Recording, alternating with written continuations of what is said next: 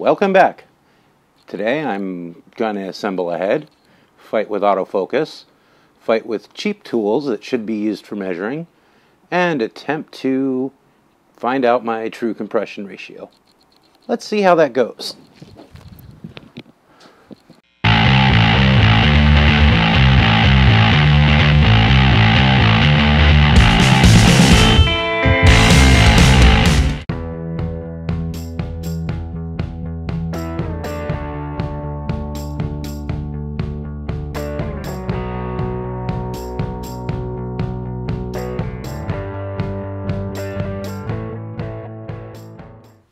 N47 head off of an 80, uh, we'll say 79 280ZX.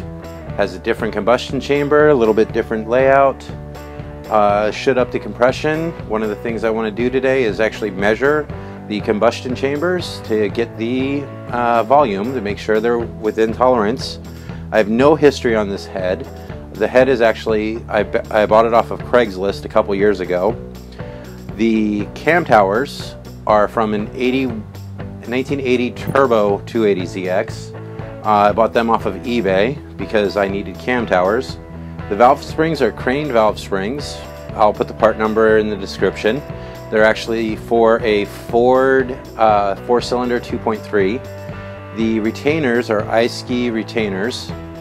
The keepers are just ITM retainers that the shop had. Um, the cam towers were aligned by the shop so everything spins well. So I have no history on the head.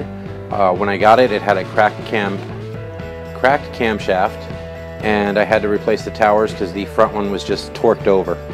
So I'll be putting it all together and seeing how it goes. I'll also be measuring the volume and the lift on the camshaft today.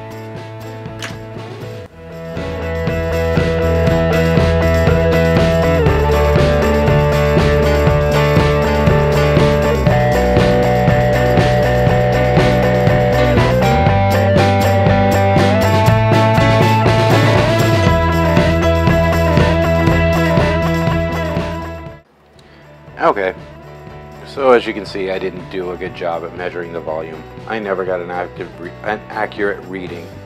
My eyedropper would always shoot out the water too fast.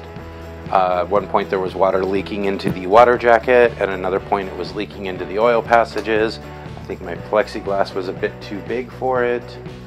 Just several different things that went completely wrong with trying to measure the water. So I gave up and just blew it all off and started uh, assembling and measuring the camshaft. So let's jump to that fail.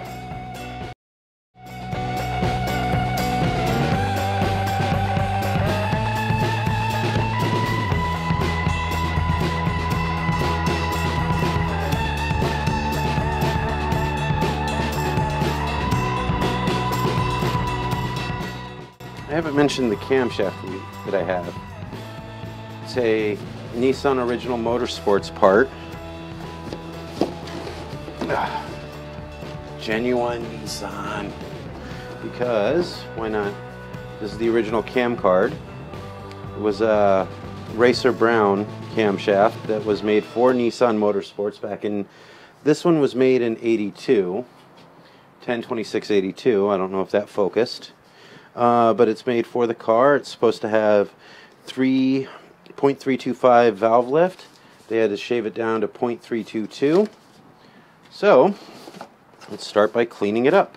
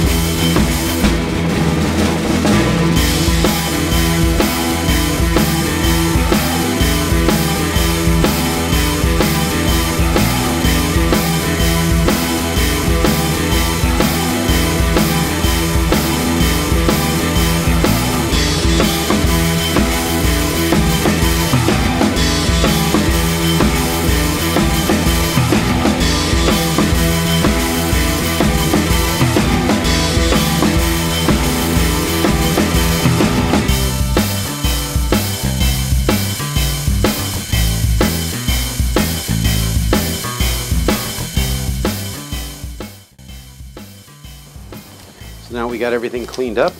Get new gloves. And let's put the camshaft in. Front side of the head is this way.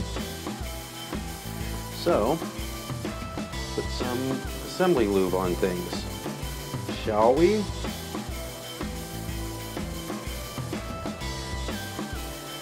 Not sure how much is too much, but I don't I don't want to do too little. So do it, shall we? Alright, let's go to there. Now, front of the camshaft is marked with a little keyway. Back of the camshaft usually has a hole or two. Some camshafts have this hollowed out, some don't, but it always has the markings on the back for at least the dots of the camp.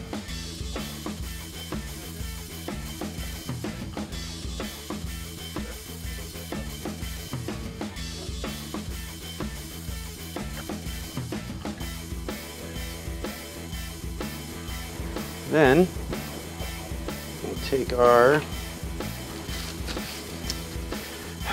plate which has the keyway. It has a little, I don't know if you can see that. Yeah, there's a little mark on it. I'll highlight it or circle it. Mark goes up. And I want to use some red Loctite because I don't want these bolts to ever move.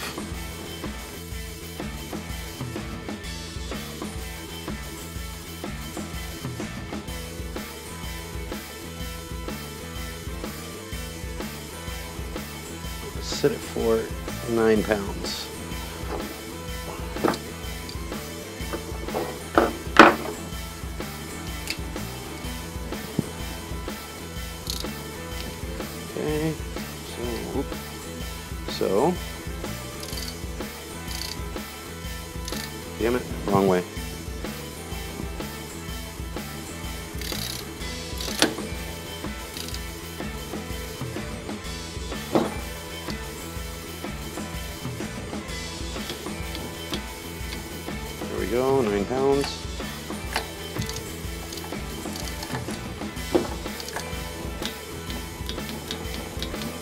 Nine pounds.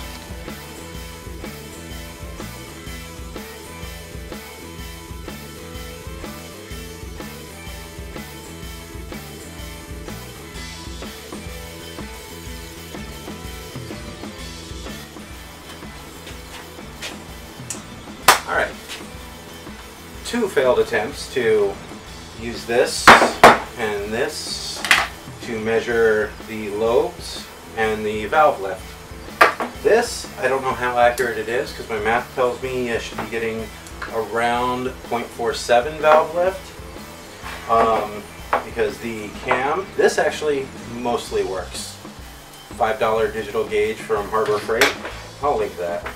But this thing, Mm, no, I can't recommend this gauge at all. Gauge is too flighty, too unsteady, even after you lock everything down.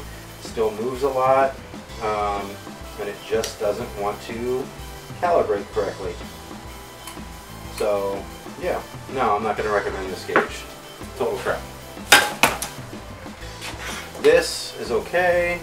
The math says they should have, uh, the rockers are 1.465-ish uh, at least all the math I've read.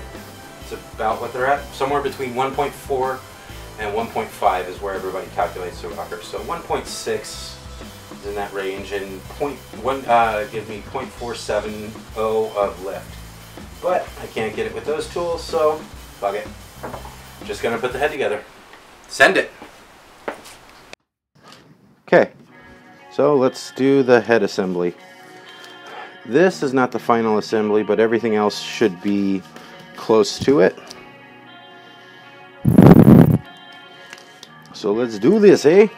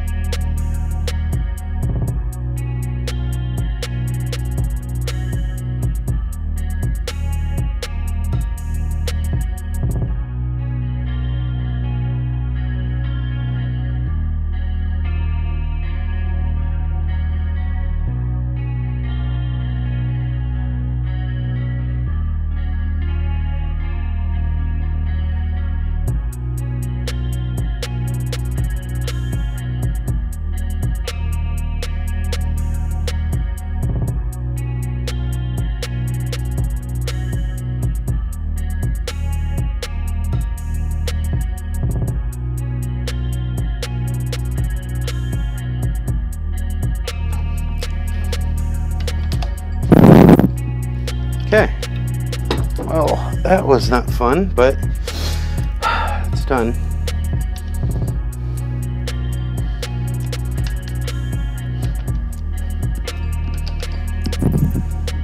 Okay. All right, now we start setting lash.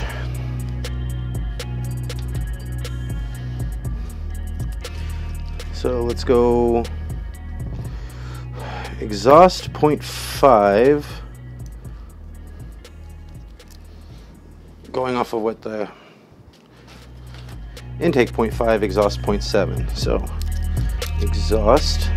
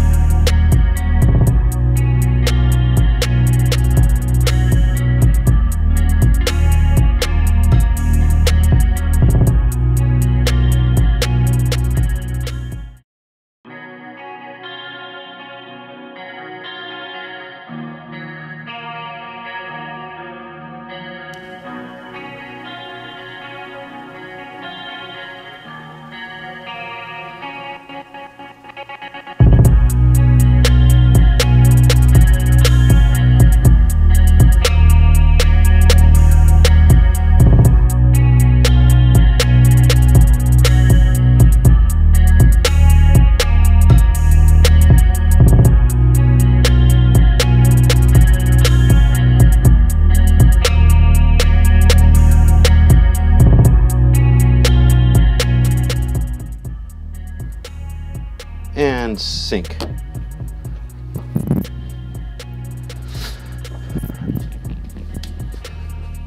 That was good. Heads all assembled and together. The parts list is below in the description. Uh, if you have any questions, feel free to leave a comment or shoot me an email. And that should be the final assembly for the head. The cam sprocket is going to have to come off again. Uh, I'm bummed that I wasn't able to measure the actual volume of the chamber, but using online calculators, I'm able to see that it's 44.6 cc, and with that, it should give me a compression ratio of 9.97 to 1. So we'll say 10 to 1 to be safe. Uh, that does mean I'm only uh, going to be able to run premium gas, but I'm still able to run pump gas because it's not a race engine. There's also the valve lift, which I think if I use a rocker ratio of 1.46 uh, and times a 0.322 by 1.46, it comes up with 0.465, 0.468, somewhere in that neighborhood. That's a pretty good lift, and that shouldn't affect things too much, just to give it a little kick. And there's been no other head work done. There's been no nothing more than a valve job. There's been no porting, no honing on the head itself. So everything is as close to factory and I'll be running the stock uh, fuel injection intake on it. So join me next time when we put the head on the block.